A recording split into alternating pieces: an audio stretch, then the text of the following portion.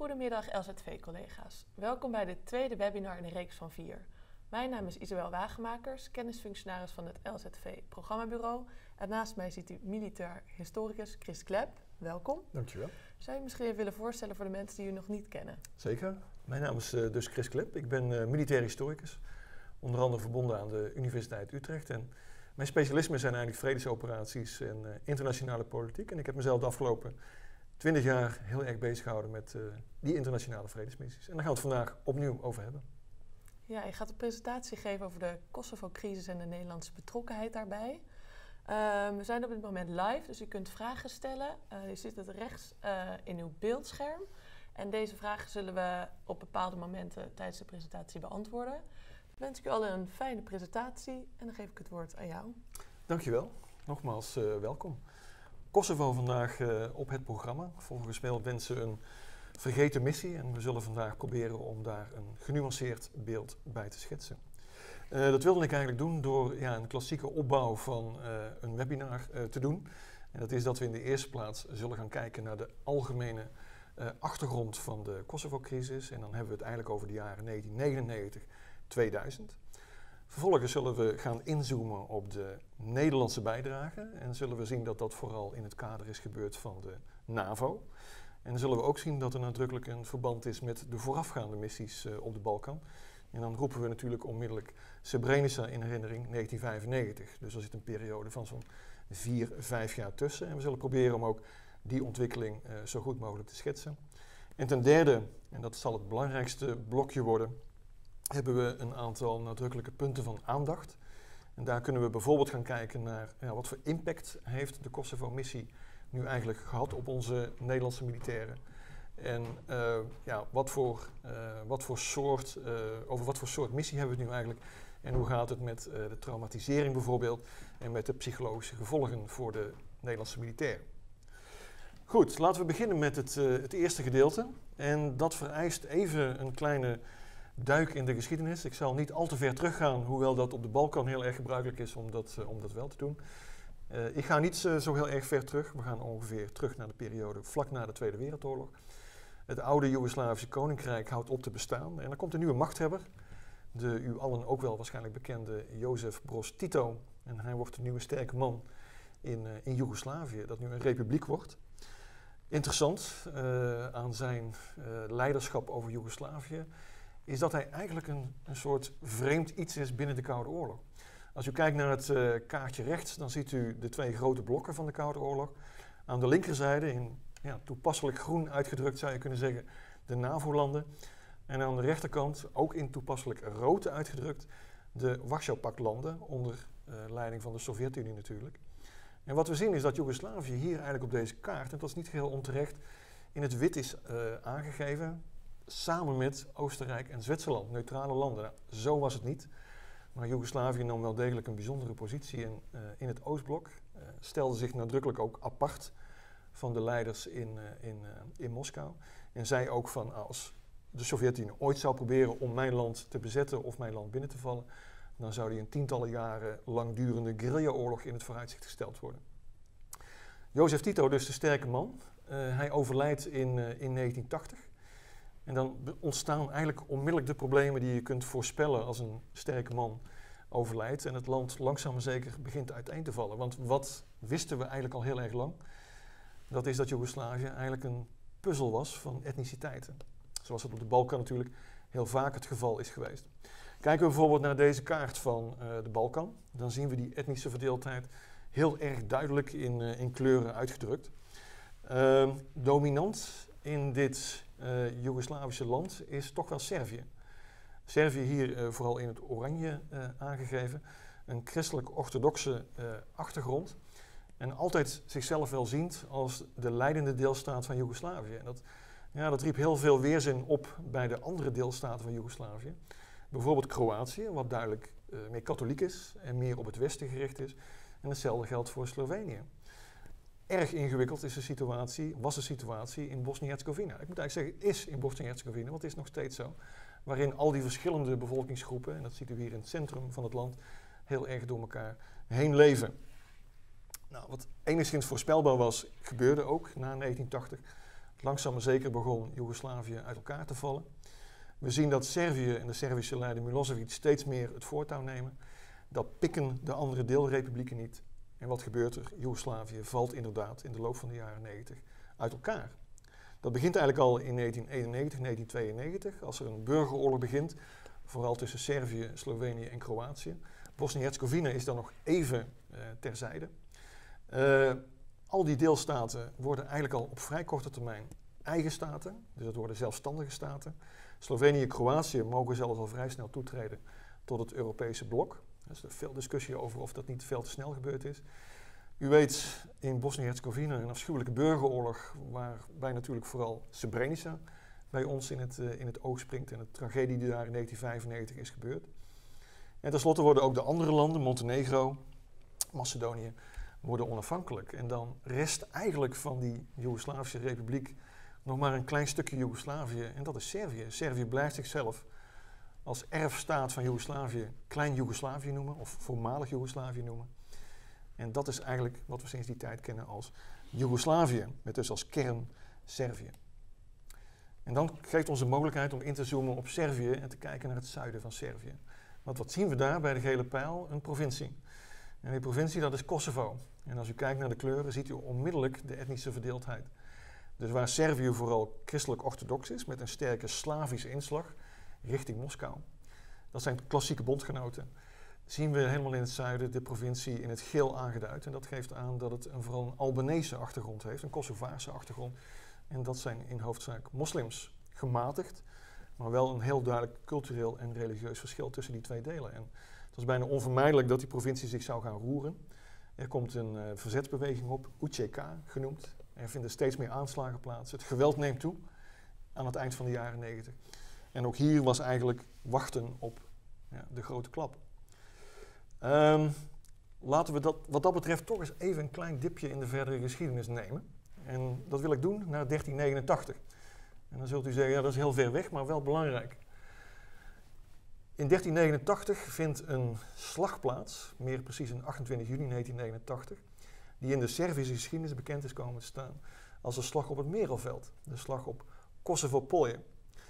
En in de Servische geschiedenis is dit het moment geweest waarop de Serviërs zich hebben opgeofferd tegen de Turken, tegen de Ottomanen. Zij zeggen, wij hebben hier eigenlijk de rest van Europa beschermd tegen de hordes, de moslimhordes die uit het Midden-Oosten kwamen. Wij hebben onszelf hier eigenlijk een plekje verdiend in de Europese beschaving. Zeggen de Serviërs, nou valt er op die weergave van de slag nogal wat af te dingen. Maar elk Servisch schooljongetje kent deze slag van voor tot achter. Dit is een van de bepalende momenten geweest in de Servische geschiedenis. En zoomen we dan vervolgens 600 jaar verder nog een keertje in op 28 juni 1989, dan zien we opnieuw Milosevic, de leider van Servië, de communistische partijleider van Servië, vindt nog steeds dat Servië de dominante factor moet zijn in, uh, in, het nieuwe Joegoslavische, de, de nieuwe Joegoslavische republiek van na Tito. En wat gebeurt er? Hij houdt op diezelfde dag tijdens de herdenking van de slag op het Merelveld, 28 juni 1989, een reden die beroemd is geworden. Dit is een reden voor 1 miljoen Serviërs in Kosovo-Polje, de geboortegrond volgens de Serviërs van de Servische staat. En hij zegt, voortaan zal dit onze grond blijven. En links in het beeld ziet u een scène uit een tv-uitzending die in Servië wereldberoemd is geworden, zou je kunnen zeggen. En dat is een scène waarin Milosevic na afloop van de reden wordt aangesproken door lokale Serviërs. En die zeggen, wij worden onderdrukt, wij worden geslagen. En dan doet Milosevic een ja, uitspraak die daarna eeuwig beroemd is gebleven. Niemand zal jullie slaan. En ik herhaal, zegt hij, niemand zal jullie slaan. En dat is het moment waarop hij eigenlijk zegt, ik zal jullie in Servië beschermen tegen de Kosovaren. Um, dan houdt het geweld niet op. Er vinden steeds meer bloedbaden plaats. En de vraag is dan natuurlijk ook, moeten we gaan ingrijpen? En dan zijn we bij het internationale ingrijpen aanbeland. Um, op het moment dat dat gebeurt, vindt een ja, bekende dynamiek plaats. Uh, er zijn allerlei berichten over oorlogsmisdaden in, uh, in Kosovo door de Serviërs op de Kosovaren. Wat er precies van waar is, dat is vaak niet bekend. Maar er, roept, er is een roep om een humanitaire ingreep. En dan vindt een bekende dynamiek plaats waarbij er stapsgewijs, langzaam maar zeker, steeds meer een humanitair ingrijpen komt. En dat begint, zoals zo vaak, met een waarnemersmissie. Ongewapende waarnemers in kleine aantallen die in het land gaan controleren of die berichten over misdaden kloppen. En in ons geval, in Kosovo, is dat de uh, Kosovo Verification Mission. Uh, die vindt plaats vanaf eind 1998. Niet alleen dat, er vindt ook een zogenaamde Extraction Force plaats. En uh, die Extraction Force die zorgt ervoor dat mocht het zo zijn dat de waarnemers in problemen komen, dan kan die Extraction Force ingrijpen en de waarnemers gaan redden. Dus het is eigenlijk een tweezijdige missie waarmee het allemaal begint. Maar het geweld houdt niet op. Al heel snel komen er nog meer berichten, 1999, over oorlogsmisdaden. En één daarvan springt in het oog en dat is Ratchak. En dat is een beroemde term geworden, vooral in de Kosovaarse geschiedenis, januari 1999. En op dat moment is ook het hoofd van de waarnemingsmissie, Walker, aanwezig in dat gebied. En hij beschuldigt onmiddellijk de Serviërs ervan dit gedaan te hebben, want de slachtoffers zijn Kosovaren. De Serviërs repliceren onmiddellijk, ja nee, dat zijn de Kosovaren zelf die dat gedaan hebben, het UCK. Die hebben hun eigen mensen vermoord om jullie te provoceren. Hoe dan ook, de zaak escaleert verder in de eerste maanden van 1999. En uiteindelijk komt het tot een daadwerkelijk militair ingrijpen. En dat kennen we als operatie Allied Force. Ook weer klassiek, niet zozeer meteen grondtroepen sturen, maar we gaan eerst bombarderen om te kijken of we de partijen tot inkeer kunnen brengen en weer aan de onderhandelingstafel kunnen brengen. En dat zijn stevige bombardementen. Met B-52 bommenwerpers bijvoorbeeld, u bekend. Uh, Belgrado, de Servische hoofdstad, moet het behoorlijk ontgelden. Ook militaire doelen moeten het ontgelden. Maar bijvoorbeeld ook ministeries en opslagplaatsen, bruggen. Heel veel wordt gebombardeerd. Zozeer zelfs dat na een aantal weken de NAVO echt moet gaan selecteren in doelen. Er zijn niet zo heel veel echte strategische doelen meer over. Um, het helpt niet, althans niet in eerste instantie. Na een aantal weken, twee, drie maanden gaan voorbij en nog steeds bindt Milosevic niet in. En dan zegt de NAVO, ja, dan moeten we dus meer druk gaan uitoefenen. En dat is in de vorm van KFOR, de Kosovo Force. Dus om Servië heen worden steeds meer NAVO-troepen gestationeerd. De Russen worden onder druk gezet om druk uit te oefenen op Milosevic. En langzaam maar zeker zie je die druk oplopen. Zozeer zelfs dat KFOR bestaat uit 50.000 militairen. Die staan gereed aan de grens van Kosovo om in te grijpen. En dan is het moment, samen met het feit dat de Russen zeggen van ja, tegen Milosevic moet je niet ophouden. Dat is het moment waarop Milosevic inbindt. En dat is het moment waarop hij zijn troepen terugtrekt uit uh, Kosovo. En dat is ook het moment waarop eigenlijk al vrij snel, binnen een paar dagen, de VN het land overneemt in de vorm van de VN-missie UNMIK. Dus niet alleen KFOR trekt naar binnen, maar ook de VN-missie UNMIK trekt naar binnen. En dat is een klassieke taakverdeling. KFOR zorgt voor de militaire opdrachten, voor de militaire beveiliging. En UNMIK zorgt voor de rechtsstaat, voor het bestuur en voor de hulp aan de lokale bevolking. Dus wat we gezien hebben is eigenlijk een klassieke opbouw bij een humanitaire operatie. Stapsgewijs wordt het uitgebreid. Degenen die het doen binnen niet in, Milosevic bindt niet in en dus grijpt de NAVO uiteindelijk toch in met een stevige, zoals we dat dan noemen, groene interventiemacht. Dus niet met terughoudende geweldsregels. Men mag er volledig in. Een echte militaire operatie. Um, heeft dat allemaal geholpen in politieke zin? Ja, uh, Kosovo is onafhankelijk geworden. 2008 is dat gebeurd. Het is nog steeds geen Europese Unie-lid, omdat een aantal landen dat tegenhoudt. Een aantal landen vinden dat een veel te snelle stap. Maar hoe dan ook, ik denk dat de Kosovaren na afloop tevreden zijn over wat er allemaal gebeurd is. Ze hebben een feitelijke onafhankelijkheid bevochten ten opzichte van uh, Servië. Is het gebied nog gevaarlijk? Buitenlandse Zaken zegt dat een reisadvies geel is op dit moment. Ik heb het vanmorgen nog even gecheckt. Dat wil zeggen dat er veiligheidsrisico's zijn. En er wordt geadviseerd aan toeristen om zeker niet de Servische gedeelte van Kosovo te bezoeken, voor zover die er nog zijn. Dus afsluitend, uh, een twee jaar durende interventie die uiteindelijk geleid heeft op de langere termijn, periode van tien jaar tot Kosovaarse onafhankelijkheid. En dat was het verhaal, algemene verhaal van de internationale betrokkenheid. Zijn daarover misschien al uh, de eerste vragen binnengekomen? Zeker. Twee vragen heb ik uh, binnengekregen. De eerste vraag is, was het een verrassende crisis? Uh, ik, denk dat je, ik denk dat je het moet zien als de, het laatste van een serie crisis. Ehm, toen er was ingegrepen in Bosnië-Herzegovina, toen er was ingegrepen in Kroatië en ook in Slovenië. Vanaf 1992, vanaf 1995 ook, zoals we weten, door de NAVO na Srebrenica zie je dat er nog één stukje van de puzzel overbleef en dat was Kosovo. Dus helemaal onverwacht was het niet. Maar dat het zo snel zou gebeuren En dat we uiteindelijk toch in dat land betrokken, getrokken werden, ook door de roep om humanitair ingrijpen. Ja, dat was uiteindelijk toch wel redelijk onverwacht. Dat had niet iedereen voorzien. Oké, en de tweede vraag is: uh, is dit waar Milosevic zijn oorlogsmisdaden heeft begaan? Um, gedeeltelijk. Uh, zoals we weten is Milosevic later door het Joegoslavië-tribunaal in Den Haag uh, aangeklaagd. niet alleen voor oorlogsmisdaden, maar zelfs ook voor genocide, onder andere in Srebrenica. En de aanklagers hebben toch wel gezegd, nou we kunnen hem beter daarvoor aanklagen. Dat is heel erg duidelijk. dat zijn echt afschuwelijke en aan Milosevic toerekenbare zaken. Terwijl Kosovo natuurlijk veel meer omstreden was, omdat daar echt een oorlog is gevoerd met Milosevic en Milosevic zich kon opstellen als een soort van een slachtoffer. Dus heel nadrukkelijk hebben de aanklagers daar gezegd van laten we dat niet te veel op de voorgrond plaatsen. Laten we de aanklachten vooral richten op Bosnië, op Herzegovina in het midden van de jaren 90. En dat is een politieke keuze geweest, daar moeten we gewoon eerlijk in zijn. Oké. Nou, dat waren de vragen eigenlijk bij dit blok. Oké, prima. Dan lijkt me een heel goed plan om naar het uh, tweede blok uh, over te gaan. En zoals uh, aangekondigd zal dat vooral gaan over de concrete Nederlandse deelname aan deze missie. Ik moet eigenlijk zeggen missies, want het zijn verschillende missies geweest, verschillende deelmissies. Uh, om te beginnen moeten we vaststellen dat de Nederlandse regering hier wel met, met, uh, met deze missies in haar maag zat. Zoals we zo meteen zullen zien, ja, het was internationaal allemaal niet zo zuiver afgezegend. Er was geen echt VN-mandaat.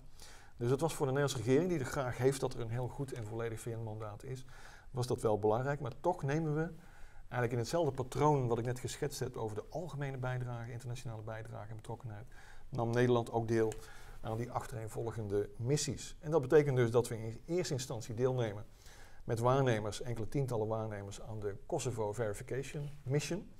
Ja, en deze foto geeft dat perfect weer. Controleren, uh, checken van berichten over uh, misdaden, checken van berichten over spanningen in lokale gemeenschappen. Eh, de Servische troepen en de Servische milities controleren in het gebied. En dat gebeurde dus allemaal in het kader van de OVSE. Niet te verwarren met de Europese Unie. De OVSE, de Organisatie voor Veiligheid en Samenwerking in Europa, was eigenlijk een product van de Koude Oorlog en heeft daarna toch nog wel goed dienst gedaan als een forum van overleg. En daar kwam deze missie eigenlijk uit voort. Vooral controleren en inspecteren en dat ongewapend. En nogmaals, daarnaast was er dus een macht die ervoor moest zorgen dat als de waarnemers in problemen kwamen, dat ze zouden worden gered, de Extraction Force. En ook daar namen Nederlandse eenheden aan deel. Een geniecompagnie, een helikopterdetachement, ondersteunende eenheden en stafleden. Dus het was niet heel erg groot, enkele honderden, maar wel een heel gevarieerd aandeel in deze Extraction Force. Ja, dan is het eigenlijk wachten op uh, de volgende stap. En die volgende stap, u voelt hem al een beetje aankomen na blok 1 is dus, dat is trouwens de, de deelname Extraction Force, is de volgende stap die veel gewelddadigere stap, namelijk het gaan bombarderen van uh, Servië. En ook daar nemen Nederlanders aan deel. Sterker nog, wij nemen daar aanzienlijk aan deel. Wij sturen uiteindelijk een uh, compleet squadron van 16 F-16's, die verschillende taken uitvoeren, verkennen, bombarderen. En omdat onze F-16's taken tegelijk kunnen uitvoeren, was het ook zorgen dat de Servische luchtmacht in de lucht werd uitgeschakeld. En met alle drie die taken hebben de Nederlandse vliegtuigen zichzelf uh, bezig gehouden. Vanaf overigens een Italiaanse vliegbasis, omdat dat ja, de best mogelijke uh, infrastructuur bood. Betekende wel dat de toestellen lange tijd in de lucht waren en vaak meerdere keren moesten worden bijgetankt tijdens uh, de vlucht. Maar dat was een aanzienlijke bijdrage aan operatie Allied Force met eigenlijk een compleet squadron. Ja, en dan is de volgende stap ja, de hoofdmoot en dat is Kosovo Force, KFOR. En ook daar neemt Nederland aanzienlijk aan deel, uiteindelijk zelfs met ongeveer 2000 militairen tegelijk. Het hoofdbestanddeel van de KFOR en de Nederlandse deelname daaraan was een eenheid van de artillerie. Een afdeling van de artillerie, de zogenaamde rijdende artillerie, de gele rijders, zoals het uh, betreffende regiment heet. En dat waren panzerhouwitsers, dat zijn rijdende stukken geschut. En met krachtige kanonnen, 125, 155 mm kanonnen, om je die indruk te geven, die kunnen van Utrecht naar Amsterdam schieten en Eventueel vice versa als dat, uh, als dat uh, nodig zou zijn. Dat zijn behoorlijk krachtige kanonnen die tientallen kilometers uh, ver kunnen schieten. En de andere hoofdcomponent van KFOR, dat was het Genie Hullenbataljon. En de Genie, ja, dat zijn de bouwvakkers van, van de krijgsmacht. Dus die hielden zich vooral bezig met het opbouwen van tentenkampen, het opbouwen van infrastructuur, het herstellen van de infrastructuur, het slaan van waterputten. Een heel gevarieerd takenpakket. Een aanzienlijke bijdrage dus, dus alles bij elkaar zo'n 2000 militairen. En vooral de rijdende artillerie was gesitueerd rond het plaatsje Oraovac, wat voor alle Kosovo-veteranen echt een klinkende naam is geworden, omdat men daar een aantal maanden gezeten heeft. Niet dat de missie heel erg lang duurt, ongeveer een jaar heeft men er gezeten. die twee grote hoofdcomponenten. En dat heeft alles bij elkaar, waren dat ongeveer ruim 6000 uh, militairen die hierbij betrokken waren. Na 2000 heeft Nederland nog een kleiner aantal detachementen geleverd, maar dat waren vaak hele kleine groepjes. Uiteindelijk in 2017, als het laatste groepje vertrekt, waren dat nog maar vier man. dus de Nederlandse bijdrage aan KFOR bestond nog uit uh, vier man. Nou, wat levert dat als totaalplaatje op? dit. Als we even de cijfers op een rijtje zetten. Um, alles bij elkaar heeft de missie ongeveer 4000 uh, eh, dagen geduurd. Dat, als u dat gaat narekenen, klopt dat niet helemaal, maar dat komt omdat er ook momenten zijn geweest dat er geen Nederlanders in, uh, in Kosovo aanwezig waren. Alles bij elkaar zo'n uh, ruim 6000 militairen die op de een of andere manier bij deze missies betrokken zijn geweest. En één dodelijk slachtoffer door medische oorzaken, niet zozeer door gevechtshandelingen. En dat was een opperwachtmeester van de marechaussee. En u ziet ook de medailles in beeld. Er was veel discussie over, ja, wat voor soort medaille moeten we hier nou voor uitreiken? Uh, moeten we daar nou een gewone VN-herinneringsmedaille voor uitreiken? Of moet dat toch een aparte NAVO-medaille zijn? De NAVO gaf ook KFOR-medailles uit. Dat is nog een hele discussie geweest die uiteindelijk uh, goed terecht is gekomen. En sinds ongeveer een jaar worden er geen medailles meer uitgereikt. Er wordt nu gezegd van, de minister heeft besloten, ja, het is nu eigenlijk voorbij die, die missie, wij nemen daar niet meer aan deel. Er is nog een tijdje de mogelijkheid geweest om die medaille met terugwerkende kracht aan te vragen. Maar dat is nu voorbij. Dat, dat kan niet meer. Um, ten slotte, toch nog wel een opmerking over de Koninklijke Luchtmacht, want dat is erg interessant. De luchtmacht ziet deze operatie, in geval Allied Force, als erg succesvol. Zij kregen daar ook flinke complimenten van de Amerikaanse luchtmacht, onder wie zij uh, moesten vliegen. De Amerikaanse generaal die dat deed, zei: Ja, ik kan eigenlijk net zo goed Nederlandse piloten vragen. Ze spreken net zo goed Engels als, uh, als mijn eigen piloten. Ze kunnen eigenlijk alle opdrachten aan. Ze, ik roep ze, ze salueren en ze zeggen, yes bos, wat moeten we doen? En dat is bij de luchtmacht natuurlijk eh, erg goed gevallen. De luchtmacht ziet Allied Force als een doorslaggevend uh, succes, mag je wel zeggen. Uh, echt op het, zoals de luchtmacht zelf zei, we hebben echt gefunctioneerd op het top 3 niveau van, van de NAVO-luchtmachten met onze F-16's. En dat heeft er onder andere ook toe geleid dat er aan het vaandel van de luchtmacht een aparte kravat is, toege, is, is, wordt gehangen met daarop het, het opschrift Kosovo 1999. En nogmaals, dat wordt door de NAVO, sorry, dat wordt door de Nederlanders, de Nederlandse luchtmacht, echt wel gezien als een, uh, als een succesvolle operatie. Dus dat is het beeld van, van de Nederlandse deelname. Heel gevarieerd. Genie, artillerie, betrekkelijk weinig infanterie, waarnemers, bewakingstroepen. Um, niet alleen dat, ook voor de kust lagen Nederlandse schepen, lag een Nederlandse onderzeeboot om inlichting te vergaren. Er waren patrouillevliegtuigen van de marine in de lucht. Kortom, een hele afwisselende en hele complexe operatie. Met alles bij elkaar ongeveer 6000 militairen die daar al deelgenomen hebben. Ja. En waren de militairen goed voorbereid op deze missie? Nou, ik zal er zo meteen nog even kort op terugkomen, maar uh, er moest wel behoorlijk geïmproviseerd worden. Uh, het, waren het was een NAVO-operatie, dus men had wel de standaard procedures. Men kon goed samenwerken met de andere NAVO-leden natuurlijk, die kende men. Zeker de luchtmacht uh, was daar goed van op de, de hoogte hoe dat allemaal werkte, kende de bevelstructuur. Het kwam toch nog redelijk als een verrassing. We hadden bijvoorbeeld geen infanterie-eenheid echt beschikbaar om naar Kosovo te vertrekken. Dus er moest worden geïmproviseerd en het werd een artillerie-eenheid. Ja, een artillerie-eenheid met zware kanonnen is natuurlijk niet echt geschikt om grote gebieden onder controle te brengen. Die stukken geschut waren natuurlijk veel te zwaar om, uh, om dat te doen en bijvoorbeeld checkpoints uh, mee in te richten. Dus er moest veel geïmproviseerd worden. Maar het interessante is dan, en dan verwijs ik toch weer even naar de huidige discussie, onder andere over Mali. Dat is die can-do-mentaliteit van de krijgsmacht. Die kwam hier weer, hier, hier weer naar voren. En dan werd gezegd, ja dat kunnen wij. Uh, wij zijn gewoon een goede krijgsmacht. En we gaan dat doen. uiteindelijk, ik denk dat de conclusie moet zijn dat het goed heeft uitgepakt. We hebben dat goed uitgevoerd. Ja was het even voor nu. Oké, okay, dankjewel.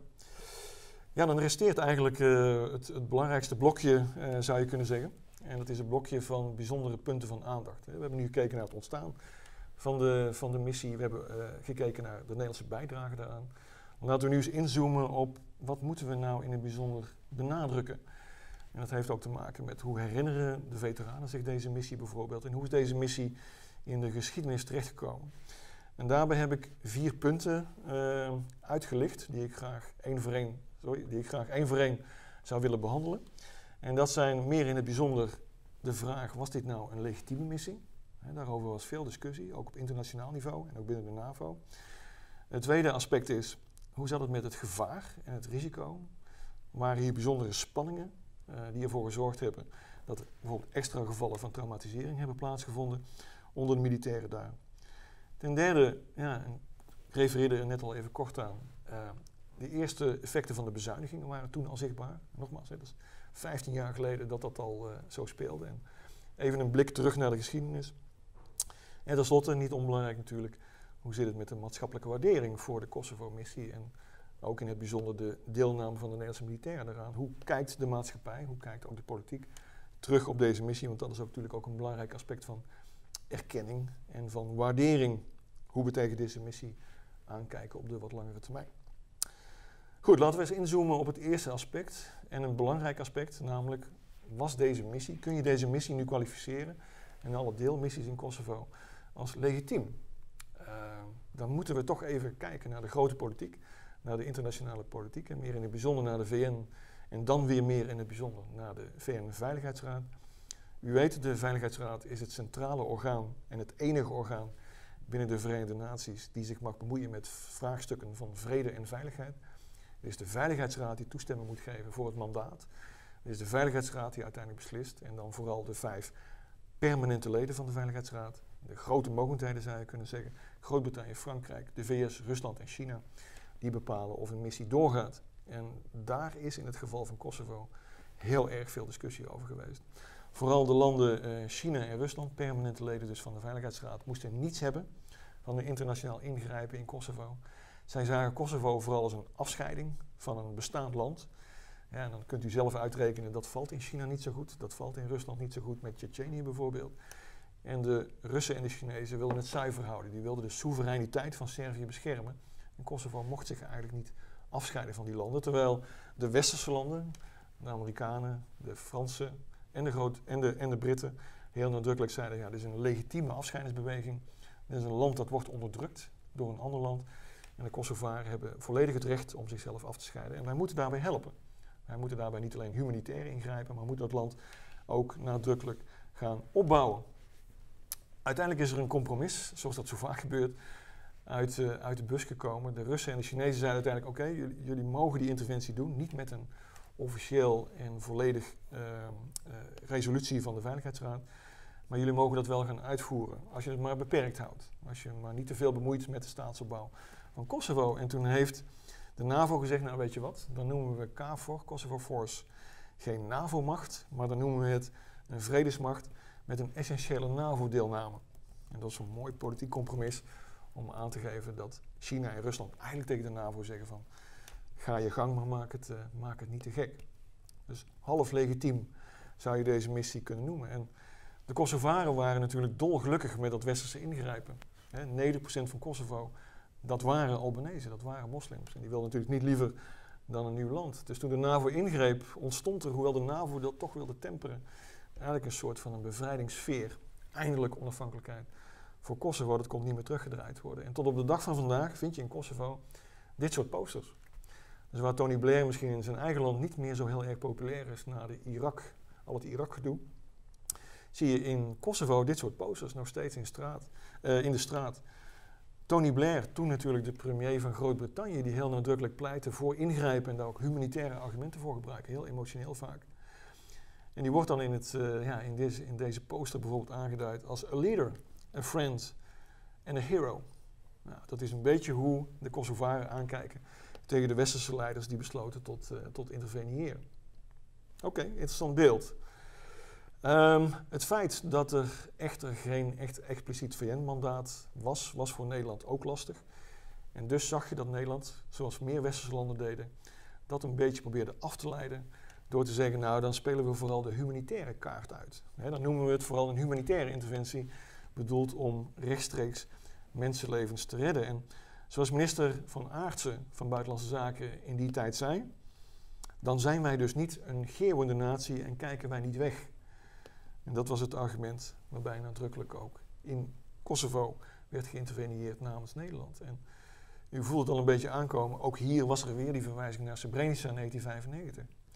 Uh, dit mag niet opnieuw gebeuren, zeiden we na Srebrenica 1995. En vier jaar later in Kosovo zeggen we hetzelfde. We verwijzen naar Srebrenica en zeggen wat in Bosnië gebeurd is met de moslims, mag niet opnieuw gebeuren met de moslims in Kosovo. En dat is een argument wat ook in de Tweede Kamer bijvoorbeeld en door de regering met enige regelmaat gebruikt werd, deze verwijzingen naar Srebrenica. Wat die hele legitimiteitsvraag extra ingewikkeld maakte, dat waren de luchtbombardementen. Dat is natuurlijk altijd een grof middel, zou je kunnen zeggen. Ehm, vooral omdat er ook strategische doelen gebombardeerd werden. Dus niet zozeer militaire doelen, kazernes, uh, luchtafweerinstallaties, uh, militaire opstellingen. Maar er werden ook strategische burgerdoelen gebombardeerd. Zoals bijvoorbeeld ministeries in Belgrado, bruggen en dat soort uh, zaken, opslagplaatsen. En dat gaf de Serviërs de kans om zichzelf op te stellen als slachtoffers. En dat leidde, en dat was niet dom van de Serviërs, laten we daar gewoon ook eerlijk in zijn, tot de campagne Am I a Target? En je zag dus overal in Belgrado en overal elders in Servië, waar mogelijk bommen zouden kunnen vallen, zag je deze mensen met deze posters. Doelwitten. Am I a Target?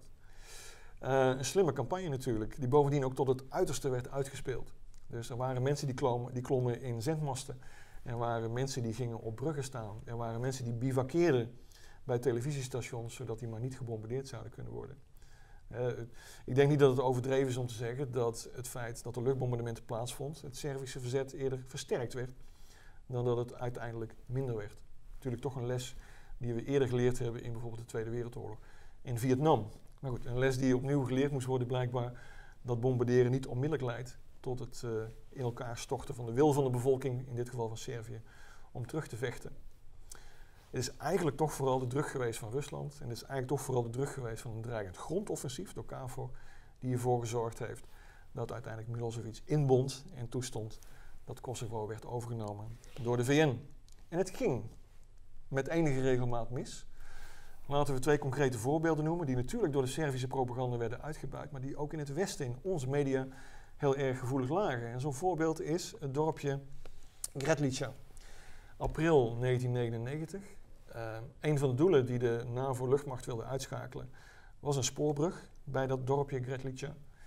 En juist op het moment dat de piloot in zijn toestel op zijn videoscherm de spoorbrug in beeld heeft en de spoorbrug steeds naderbij ziet komen vanuit de kop van zijn geleide wapen, rijdt er een trein in beeld. Uh, dan heeft de piloot nog twee seconden de tijd om die bom af te leiden. Dat lukte niet meer, dat ging allemaal veel te snel. Tegen de tijd dat hij door had wat er aan de hand was, was die bom al bij het doelwit. Die trein die wordt volgeraakt. Tientallen uh, dodelijke slachtoffers uh, vallen erbij. En dat was natuurlijk toch een punt wat door Milosevic en door de Servische regering tot het laatst werd uitgemolken. Hier worden oorlogsmisdaden gepleegd, maar niet door de NAVO. Het is een bewust doelwit geweest, zei, zei Milosevic, deze burgertrein. Dit is een bewust bombardement geweest.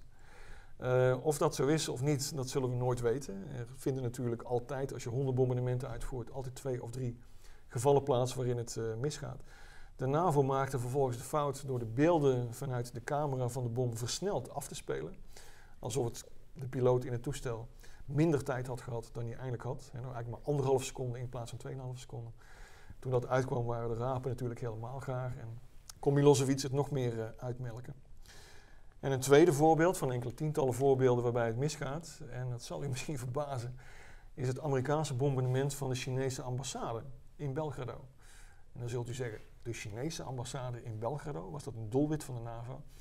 De NAVO zei dat het een vergissingsbombardement was. En China heeft dat altijd ontkend dat dat mogelijk was. De Chinezen hadden heel erg duidelijk aangegeven waar die uh, ambassade was. Hij was wel kort daarvoor verhuisd. Maar de Chinezen hebben altijd gezegd, dat hebben we duidelijk aangegeven, we hebben duidelijk de NAVO geïnformeerd dat dat geen, uh, geen doelwit mocht zijn. En toch is het gebeurd. En de Chinezen zeiden eigenlijk impliciet van ja, dit is, dit is niet geen, er kan geen toeval geweest zijn.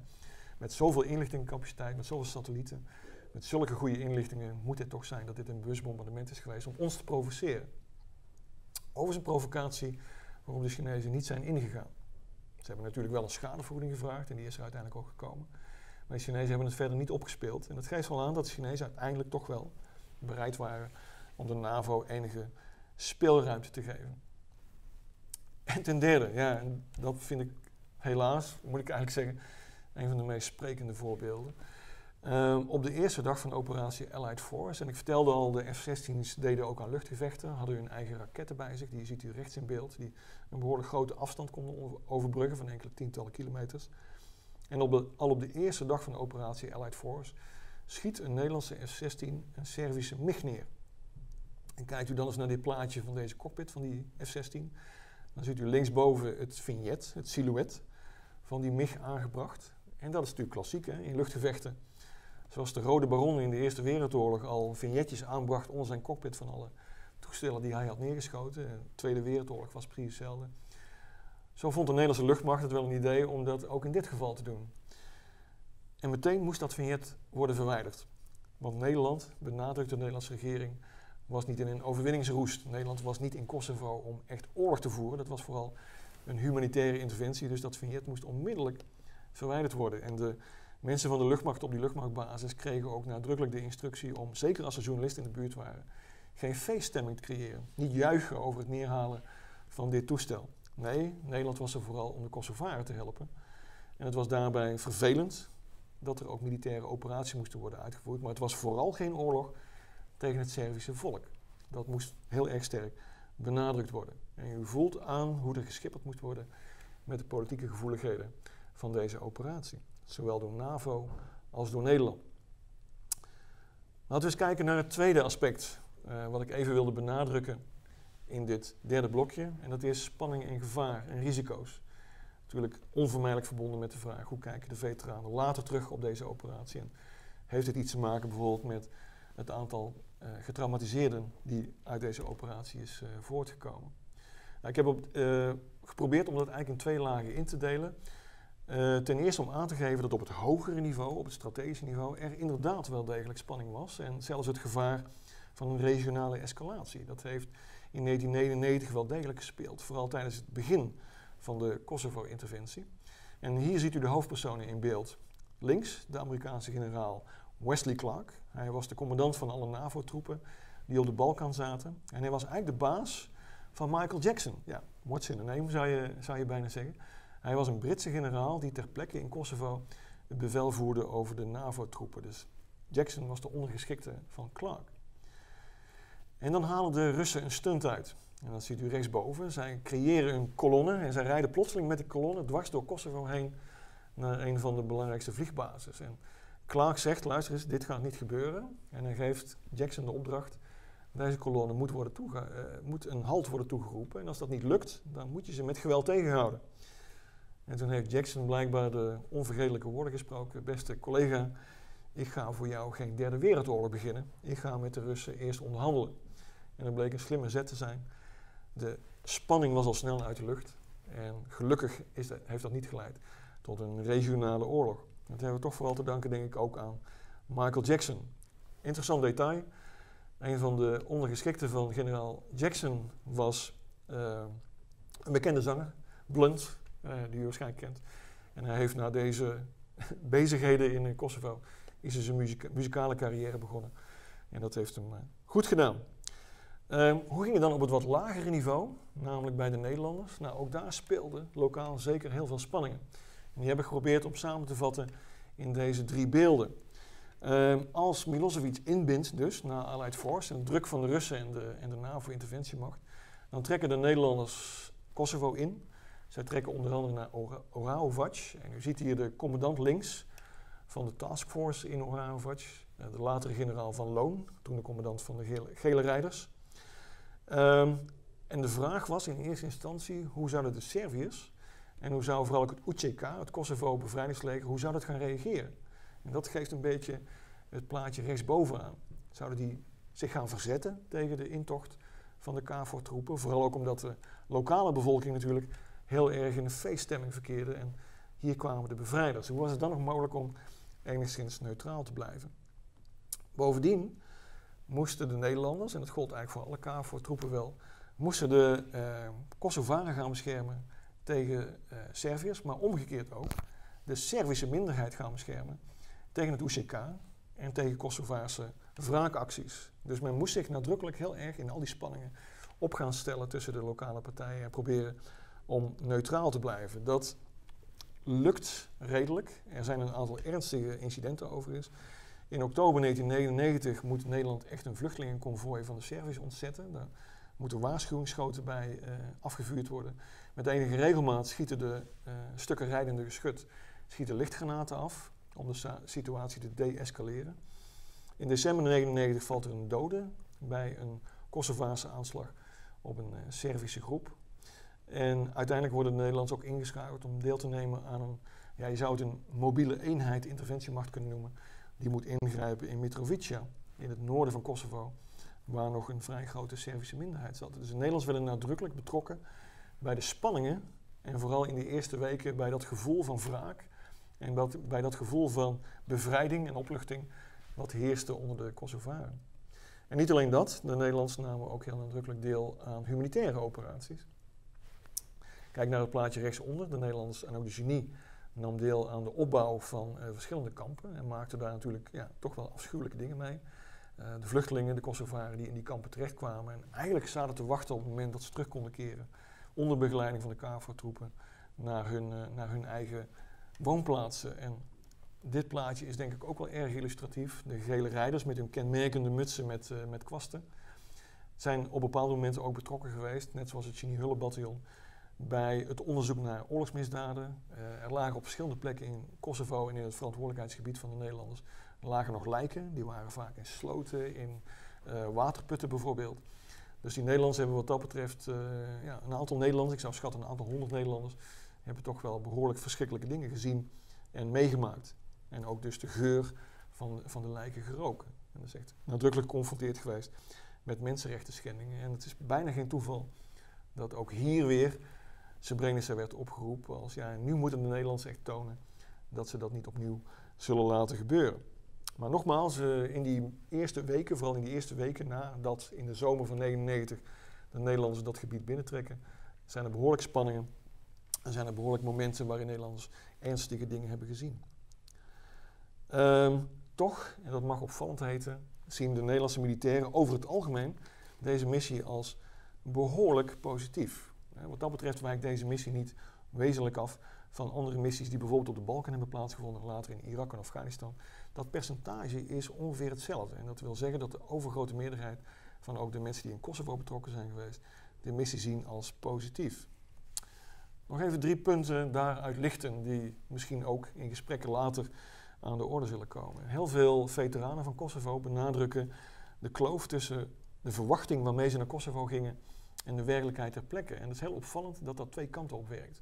Dus enerzijds gingen heel veel mensen naar Kosovo met de gedachte dat ze daar in een oorlogssituatie terecht zouden komen, terwijl het meeviel. Dat is natuurlijk heel erg afhankelijk van welk gebied men terecht kwam.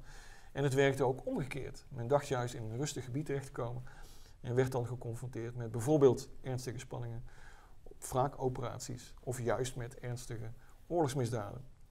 Dus dat is heel moeilijk om daar per militair in het algemeen wat over te zeggen. De ervaringen zijn ongelooflijk gevarieerd geweest. Een tweede element wat heel erg opvalt in de verhalen van veteranen uit deze Kosovo-periode is hun mening over andere contingenten, over buitenlandse contingenten. Er waren Russische contingenten in de buurt, er waren Turkse contingenten in de buurt en ook contingenten uit andere landen.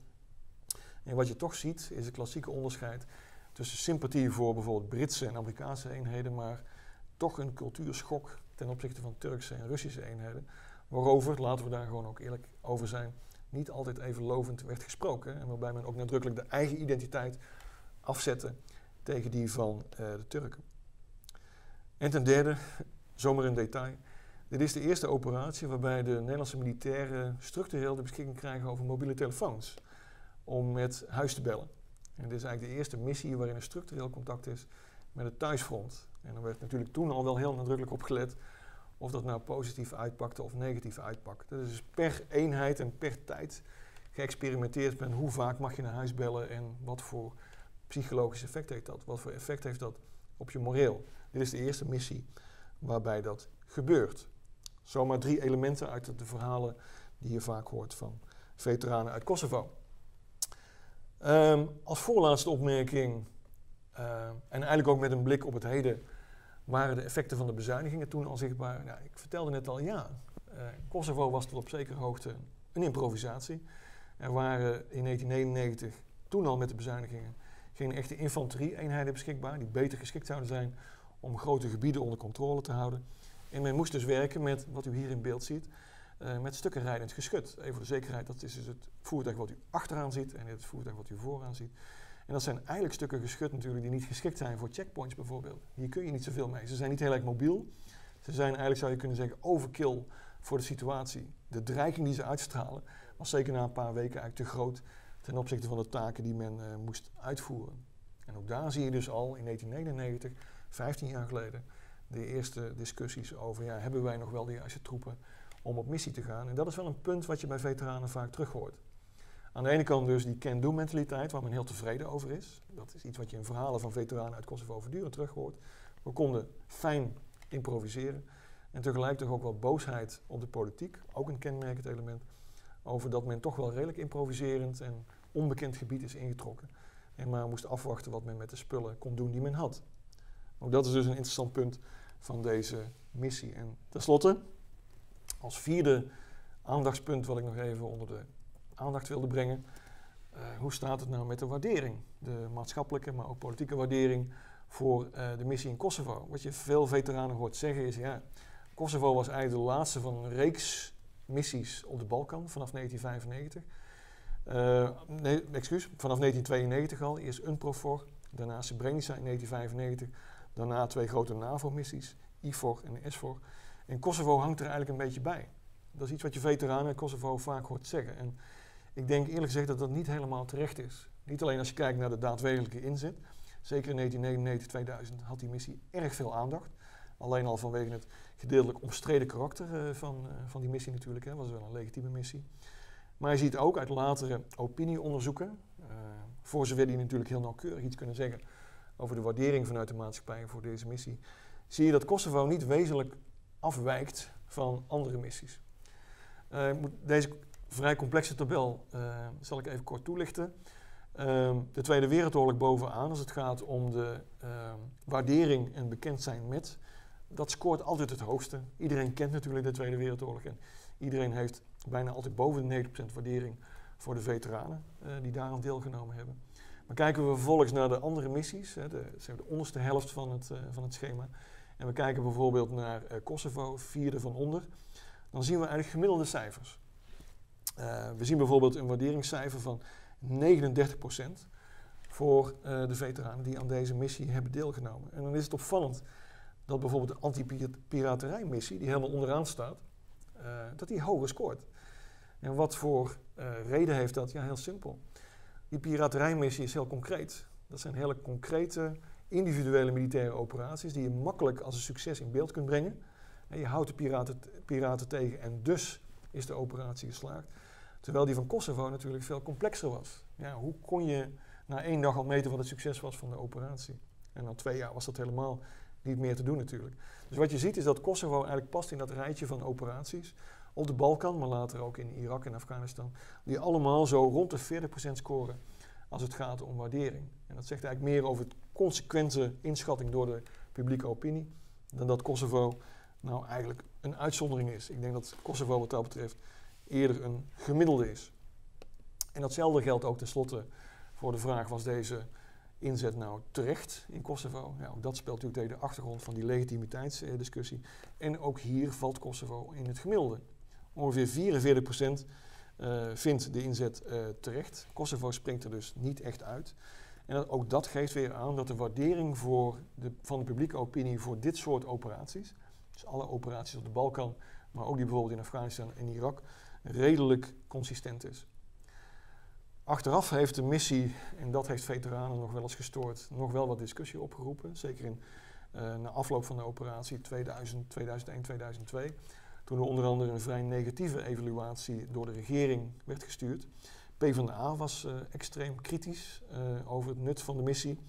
Er werd bijvoorbeeld vastgesteld dat ondanks alle inspanningen en de grote bijdrage van Nederland we niet in het overlegorgaan over Kosovo terechtkwamen. Daar zaten alleen de grote mogendheden in. Het heeft niet zoveel opgeleverd dat we nou in andere VN-fora kwamen te zitten, Kosovo. Dus er was geen lineair verband tussen inzet in Kosovo en de diplomatieke en politieke winst die dat opleverde. Er was bovendien veel discussie over, ja, uh, waren de Servische slachtoffers die wij veroorzaakten met die bombardementen nu de moeite waard?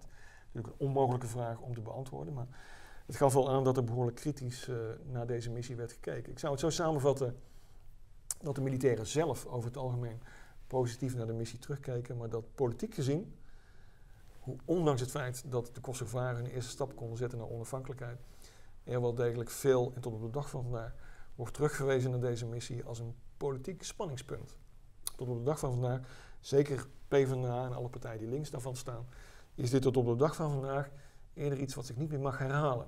dat de NAVO ingrijpt zonder nadrukkelijk toestemming te hebben van de Veiligheidsraad. Nou, tenslotte uh, hebben we nog een betrokkenheid bij Kosovo. Nou, in 2008 dus onafhankelijk geworden.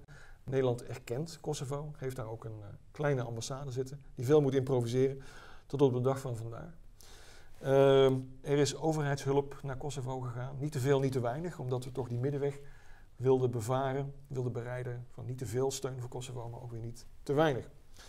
En Kosovo begint langzaam maar zeker op eigen benen te staan. En sommige veteranen zijn nog steeds betrokken, onder andere het initiatief uh, Veteranen op Missie, die bijvoorbeeld een aantal waterbouwprojecten hebben opgezet in Kosovo om de bevolking te hebben. Ja, concluderend dan aan, aan het eind van, uh, van dit verhaal is Kosovo een bijzondere missie geweest. Dan is mijn conclusie eigenlijk vooral ondanks alle improvisatie, het is meer een typische missie geweest. Het is een missie die past in een lange reeks van missies en betrokkenheid op de Balkan. Vanaf het begin van de jaren 90. En uiteindelijk hebben zo'n 40 tot 45.000 militairen op de een of andere manier daar hun employ gevonden. Dus Kosovo past in dat rijtje. Was Kosovo mede deel van de revanche van Nederland voor Srebrenica? Ja, dat was het. En dat werd ook door de politiek zo gezegd. Militairen vonden dat wat lastiger om te zeggen natuurlijk. Die vonden dat Nederland überhaupt weinig kon doen aan Srebrenica. Maar in de politiek merkte je van tijd tot tijd dat een minister of een Kamerlid zei: Zie je wel, we hebben in Bosnië nu al bewezen dat het kan met IFOR en SFOR. En we bewijzen nu weer in Kosovo dat Nederland dit soort missies uh, aan kan. Een revanche voor Srebrenica, voor de politiek in ieder geval wel. En tenslotte als laatste opmerking, Kosovo is vooral de boeken ingegaan als een humanitaire missie en dat wordt door de regering ook zo nadrukkelijk gesteld. Dat is ook het punt waarmee de veteranen wel kunnen leven, denk ik. Zij hebben die missie vooral gezien als een operatie om rust en orde te brengen in het gebied. Men is niet hele lange tijd in Kosovo gebleven om die hele wederopbouw mee te maken, zoals bijvoorbeeld in Oeruzgan gebeurd is en in Irak gebeurd is. Uh, en dat heeft ook wel veel problemen met de nasleep voorkomen, denk ik. We hebben daar ons werk gedaan, zou je kunnen zeggen, in 99, 2000. En zijn daarna grotendeels weggegaan. En dat is gedeeltelijk ook, laten we eerlijk zijn, een geluk bij een ongeluk geweest. En dat zijn denk ik de drie belangrijkste aandachtspunten, oh, helemaal op het eind, die we kunnen zeggen over eh, Kosovo, denk ik. Ja, ja. Dankjewel. Dankjewel. Um, ik heb nog een aantal vragen. Uh, kijk even hoe ver we er komen. Uh, de eerste vraag is: wat is het effect van de bom bombardementen op het welzijn van de piloten? Ja, dat is een interessante vraag die natuurlijk ook regelmatig gesteld wordt, ook bijvoorbeeld voor onze F-16-piloten in Irak en Syrië en in Afghanistan. En daar doet zich een interessant fenomeen voor. En dat is dat uh, de, niet alleen de piloten, maar ook het luchtmachtpersoneel wat betrokken is bij die bombardementen op de grond, vergelijkbare traumatiseringscijfers heeft, dus vergelijkbare PTSS-cijfers heeft als de troepen die echt in Kosovo uh, de militaire operaties hebben uitgevoerd. En dat klinkt raar, omdat je zou denken, ja, zo'n piloot vliegt op 5000 meter hoogte. Na twee of drie dagen was de Servische luchtmacht grotendeels uitgeschakeld, dus er was niet zo heel veel gevaar. Nee, was een piloot veroorzaakt natuurlijk uh, nadrukkelijk op de grond wel heel veel schade. En moest na afloop ook vernemen dat sommige dingen misgegaan waren en dat er ook burgerslachtoffers gevallen waren. Dus dat veroorzaakt wel degelijk een vorm van uh, traumatisering. En een ander vind ik zelf fascinerend fenomeen, maar wel herkenbaar fenomeen wat zich voordoet, is dat bij het grondpersoneel, dus dat de F-16's onderhoudt, er een soort van een indirecte traumatisering soms heeft plaatsgevonden, omdat men wel degelijk in spanning zat van ja, komt mijn kist terug? Komt mijn piloot, komt hij terug? Uh, een crew werkt vaak aan hetzelfde toestel, gaat zich als het ware een beetje met dat toestel identificeren. En daar hebben zich verschillende gevallen voorgedaan waarbij luchtmachtpersoneel zich zo identificeert met dat toestel, dat ze daarvan uh, ja, de spanning toch wel problemen hebben gekregen na afloop. Dus eigenlijk een, een, tweeledig antwoord. Bij piloten zie je vaak dat ze zich druk hebben gemaakt over het effect van hun bombardementen, hoewel ze zelf niet misschien rechtstreeks in gevaar waren. En bij het grondpersoneel zie je een vorm van indirecte traumatisering. En als we dat in cijfers zouden moeten uitdrukken, dan denk ik dat die vergelijkbaar zijn met de traumatisering en PTSS. Bij de andere eenheden die in Kosovo gezeten hebben, zo tussen de 2 en de 5 procent. Dat zullen ongeveer de cijfers geweest zijn. Oké, Ehm, een volgende vraag is, eh, je noemde ook al even boosheid op de politiek, maar wat Ja. zijn de gevoeligheden van deze missie voor de militairen? Ja, ik, ik denk dat zich hier een fascinerend, weer een fascinerend fenomeen eh, voor, voor, eh, voordoet. En dat is dat de militairen, ehm, zoals ze op andere missies vaak ook doen, zichzelf losmaken van de politiek. Dus eh, ze zeuren heel veel over de politiek en over de onduidelijke mandaten die ze krijgen. In het geval van Kosovo was het natuurlijk het ontbreken van een heel duidelijk veiligheidsraadmandaat. Maar daarna focussen ze zich toch voortdurend op hun opdracht zelf. Ze koppelen zich nadrukkelijk los van, het, van de hogere politiek, zou je kunnen zeggen, en gaan vervolgens gewoon aan het werk. En ik denk dat dat ook wel een verwerkingsmechanisme is. Dus je geeft anderen vaag, Den Haag, NAVO, de VN, geef je de schuld. Of andere contingenten, de Turken, de Russen, geef je de schuld van de politieke spanningen. En daarna zeg je van nou oké, prima, maar ik ga nu gewoon mijn eigen werk doen. En dat maakt, althans dat leert de ervaring, het verwerken van zo'n operatie ook wel een stuk gemakkelijker. Iets wat je in alle operaties ziet. Hè? Het loskoppelen van het hogere doel, zou je kunnen zeggen, de hogere politiek. En dat je zelf focussen op wat je geleerd hebt, op het specialisme dat je hebt en het uitvoeren van je taken. En die taken blijken ook vaak uh, zeer bevredigend te zijn, zeker als het toch om die humanitaire taken gaat, dat je nadrukkelijk ook mensen ter plekke hebt kunnen helpen. En ook dat is een fenomeen dat we uit andere missies kennen. Ja. Niet alleen in Kosovo, maar ook bij andere missies. Oké, dank je. Gaan we de laatste vraag doen. Um, de oorlog was niet onomstreden, maar betekent dat dat je van een foute oorlog kan spreken? Ja, dat is een hele goede vraag. Uh, achteraf is er een hele mooie compromisformule voor bedacht door de Nederlandse overheid. Die zei van, het was misschien wel een illegale operatie. Dus hij was niet expliciet door de Veiligheidsraad goedgekeurd. Maar het was geen illegitieme operatie. Een mooi onderscheid tussen illegaal wil zeggen, ja, volgens het internationaal recht mocht het niet. Maar het was wel rechtvaardig wat we deden. Er wordt dus een mooi onderscheid gemaakt tussen het wetboek, zou je kunnen zeggen, tussen de internationaal juridische regels en een morele plicht om daar te gaan zitten, omdat er een bevolkingsgroep, een, land, een komend land, in de problemen was gekomen. En dat is ook weer natuurlijk iets wat je in heel veel missies ziet. Het mag dan wel niet helemaal legaal zijn, volgens, volgens de Veiligheidsraad, maar de humanitaire noodsituatie, dat zei Tony Blair ook voortdurend, de acute noodsituatie is zo erg dat we nu humanitair moeten ingrijpen op korte termijn. En vandaar die mooie en ook wel heel begrijpelijke formulering. Illegaal, maar wel legitiem. Ja. Nou, heel goed. Dan was dat het weer voor vandaag. Ja. Chris, heel erg bedankt voor je presentatie. Graag gedaan. U bedankt voor het kijken en voor uw vragen daarbij. Uh, dit webinar komt online te staan en dan kunt u uh, de link gebruiken die u uh, hiervoor heeft ontvangen. En het is ook op Q-link komen te staan. Het volgende webinar is dinsdag 25 september met als onderwerp Libanon. We zien u graag dan weer. En dan mede namens Chris Klep wens ik u nog een fijne dag.